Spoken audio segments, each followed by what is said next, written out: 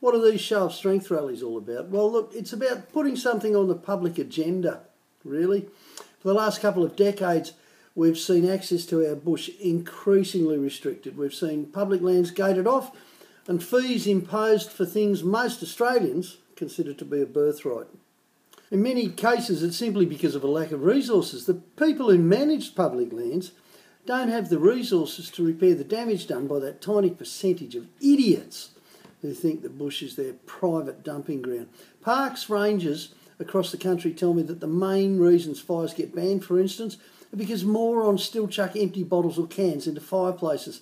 That means broken glass and sharp metal. I mean, that's dangerous to everybody. Then there's the idiots who'd rather dump a trailer load of rubbish up a bush track than take it to a refuge centre, or the nongs who vandalise facilities because, well, that's what stupid does, isn't it? So the land gets gated off because some bean counter says that's the only cost effective way of dealing with the problem. Look, their maths might be right, but their thinking is wrong. And Unlock Australia is dedicated to coming up with better ways of dealing with the problems. From educating bush users to encouraging container deposit schemes to making tipping costs free, there's always a better way than locking people out.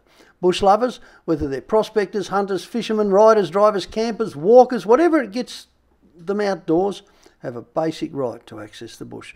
It's part of being Australian and it always has been. For me, and possibly for you, it goes deeper than that too. All my life, the bush has been my sanctuary. This is where peace of mind is possible. This is where I connect with my country. Our Aussie bush, be it the high country or the outback or anything in between, is something I crave. It's part of me. And the fact is, we've been connected with our land for many generations now. The bush isn't just a part of every Australian's heritage, it's the backbone of how we feel about our country. From the first settlers carving out farms and homes, from the bush to the miners to the timber getters, the bush was where Australia grew up. Just like so many of us grew up there too. Most Australians are connected to this land as much as our Aboriginal brothers in so many ways. It's our history, our recreation, it's our bush.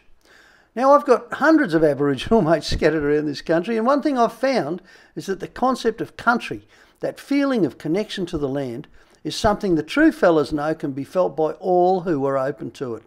Australia is a magnificent land, a country as old as the world itself, with so many special places that bring out a deep sense of awe and mystery that, that modern words can't explain. You don't need to be born here, you don't need to have Aboriginal blood. You just have to connect with Mother Earth. Look, maybe I've overstepped the mark here, claiming something for all of us that's traditionally been seen as the property of just a few. If so, I apologise to anyone I've offended. No argument will convince me that my heart's wrong on this, though. It's not where you're born or what your blood is, it's whether you connect to country. I'm presenting this as an opinion, okay? It's my thinking and I'll take full responsibility for it.